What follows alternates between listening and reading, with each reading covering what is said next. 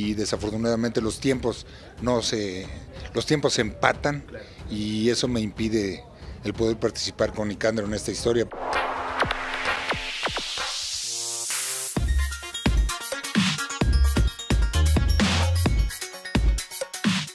Eduardo Yáñez como nunca habla de Itatí Cantoral.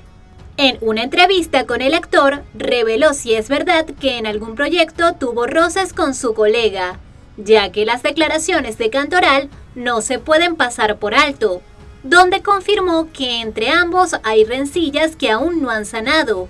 Sin embargo, como todo un caballero, el actor así se refirió de la intérprete de Soraya Montenegro. Nicandro y yo nos juntamos hace tiempo y este y empezamos a hablar de trabajo, afortunadamente y bueno, pues estaba Silvia Navarro, donde íbamos a trabajar eh, en esta historia con Nicandro y de pronto no sé qué pasó, pero yo puedo hablar de lo mío. Lo mío se complicó por, por un trabajo que estoy haciendo para otro network y desafortunadamente los tiempos no se los tiempos se empatan y eso me impide el poder participar con Nicandro en esta historia, pero él es un gran productor, de lo mejor que tiene la empresa, y este, o el mejor para mi gusto, y yo creo que podremos eh, hacer planes para otro proyecto.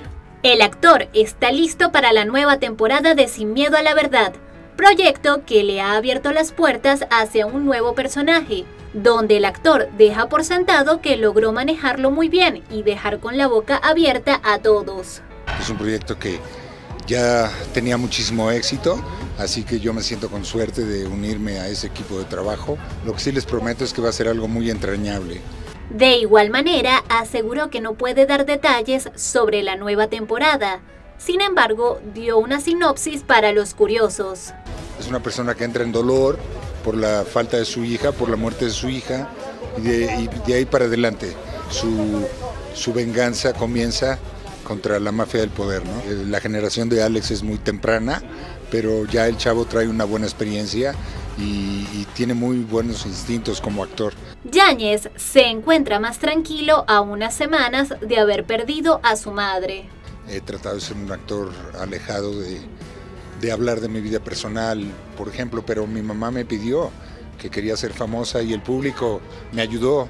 Eh, todas estas eh, lugares como el Instagram, como el Twitter, como el Facebook, me ayudaron a hacerla famosa y por eso estoy muy agradecido con todos ellos. Y pues mi mamá pasó un momento muy, muy feliz siendo la actriz que ella quería ser, ¿no? ¡Hey! ¿Ya estás suscrito al canal? ¿Qué esperas? Activa la campanita para que te lleguen nuestros nuevos videos.